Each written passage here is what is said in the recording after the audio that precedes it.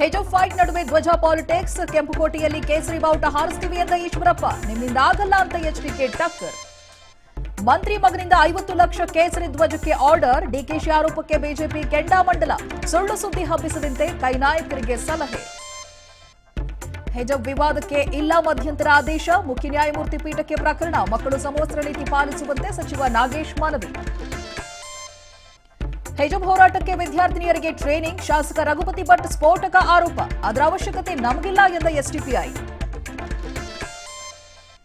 ಅಲ್ಲಾಹು ಅಕ್ಬರ್ ಎಂದ ವಿದ್ಯಾರ್ಥಿನಿಗೆ ಐದು ಲಕ್ಷ ಬಹುಮಾನ ಹಿಂದೂ ಸಂಘಟನೆಗಳಿಂದ ದೂರು.